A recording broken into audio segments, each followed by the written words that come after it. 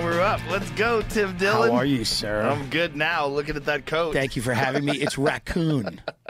I went to a furrier in New York, and two little old Jewish guys, and they go, "We don't have anything in your size, uh, like sable or chinchilla or any of the high end."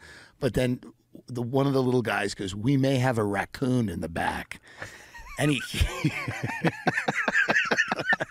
and he came out with this, and this is a raccoon, but he was explaining it's from Finland. Like these oh. raccoons are Finnish. Is that the actual color of their fur? Or did they dye that? Because I think it's a, the- like a blonde, almost like a, like a grizzly. I think the raccoons in Finland are, are have different colors, perhaps. Hmm. Let's Google that. Yeah, What does a raccoon look like in Finland? Is that a different animal?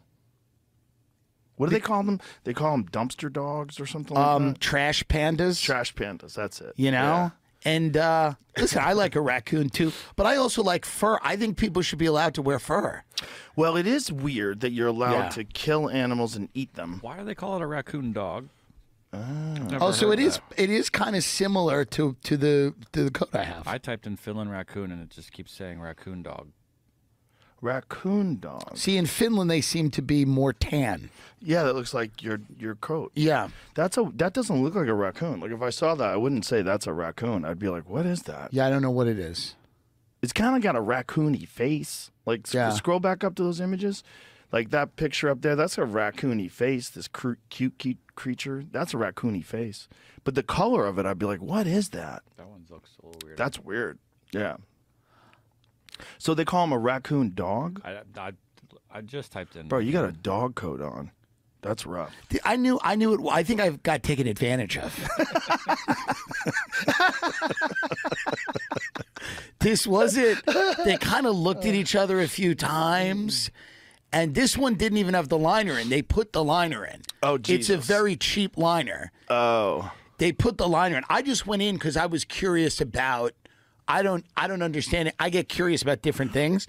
So these furriers in New York City, a lot of them will kick you out if you don't have an appointment. So one of them just said, "We can't deal with you. You don't have an appointment. Go." But then these two guys were nice enough to talk to me a little bit, and I was just asking questions. I'm like, "What's the deal?" They're like, "Well, sable is like our the top thing." And then they're like, obviously, chin- mink and chinchilla and fox. Could And- they make you a Of custom course, one your they size? could So you'd have to order it. They could absolutely make a custom one, but I wanted something fun to come on here with. Yeah. So I said, I don't really even want one of these. So I just want to do like an impulse buy. Just give me something to buy. Right. I don't want to think And you about got this. you got the raccoon. and then the guy goes, "We have a raccoon." I don't know what it. Is. It could be a costume. And that might have been what the Patterson guy wore in the Bigfoot footage. Yeah, I have no idea what it is, but it is a fun, and it's got that hood. Mm. It's got a hood like if you were a rapper or uh, something like this. Do you know, Bill? You know Bill Blumenreich from uh, Boston. Of course. Yeah. Uh, Bill had uh, a mink coat once. Yeah. And he let me try it on. I'm like, let me try that on. Yeah, yeah, yeah. And I was like, oh my god, it's so warm. It's He's like, amazing. yeah. There's a reason why people like them. But people get real mad. Oh yeah, they don't like it. But it's also weird. Like, you're allowed to wear leather. Right. Like, what is leather? If you're leather is everywhere. Everybody wears leather. It's leather is just the fur removed. That's all it is. Right. Like uh, Crocodile scales.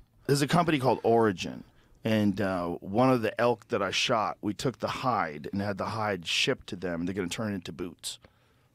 Yeah. It's good use of leather. Of course. What? But that's normal. Nobody gets nobody gets freaked out if they see you with leather boots. Well, on. wasn't this Everybody the entire? I mean, on. you know more than me, but the the Native Americans who respected the you know the the animals and the environment. It was all about utilizing every part of the animal. Yeah, they used everything they could, and Right. they lived in harmony with them. Like you know, Yeah. especially like some some of these Native American tribes had these relationships where they were migratory with the animals. Right. Like like buffalo and the Comanche, they they followed them around, man, and they they used all their they blankets, they all sorts of things. Yeah. they, they, their teepees, everything. Like So to me, I don't understand where it became, uh, you know, so controversial. because it's uh, it's really rich people flaunting that they can go have someone murder a mink for them. Right. And you're wearing this thing and you've got all these diamonds and you're walking Right. in fabulous. It's it's imbalanced. It's, Right. It's grossly imbalanced. To a You're- you're degree. a rapper with f- like hundreds in your hands. You're throwing them out. Sure, but the somehow crowd. I look balanced with nature in this in an odd way. I don't, you know. I don't even feel like I look rich in this. I look a little crazy. Well, I you look like a guy on the brink of something, and not a good thing. It depends on what you Right. like. It I would look at it. That's a fun guy. That's a f- my initial reaction when I saw Yeah. you in. I was like, "This Yeah. is awesome." It's it's interesting because it, it it does seem to me. I understand that people are morally against it, but when you start like, I don't know, throwing paint on people, right? Yeah, it's kind of crazy. red paint.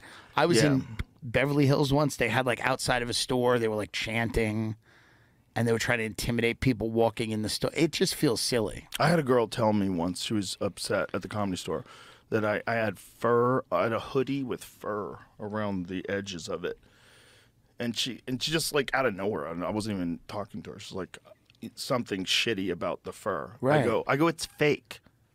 I go, it's fake fur. It's like a, fu- it's a fucking hoodie. Right. And she goes, I don't like what it represents. What is it rep- what is wrong with these people? I don't It represent. This was a long time ago, by the way. This is not like famous me, but I was like, this is such such a crazy conversation. Like it's fake fur. Like I, I don't understand. I, I I understand people that are ethical vegans who say I don't want any type of animal product ever. Right. Okay. Um I disagree with that and I think a lot of people on earth would disagree with that. I think the human race would go would starve pretty quickly if we couldn't eat any animal product.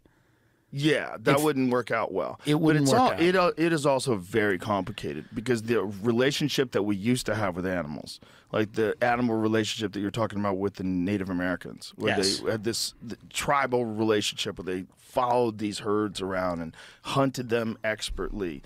That is so different than going to Jack in the Box. That's true. And, and that's what most of what our meat is coming from this weird subversion of like the natural way of getting food. the factory farming. Yeah, I mean, uh, there's never been a time ever where in human history where people have stuffed so many fucking animals into warehouses and just beheaded them. But because our population has never been greater. Right. It's never been bigger. We've never had more of a burden to feed people. Right. And it's unfortunate the way that it happens. I mean, we've all seen like the footage of like the chickens that don't get to walk around. Mm-hmm. That's not good. Not good.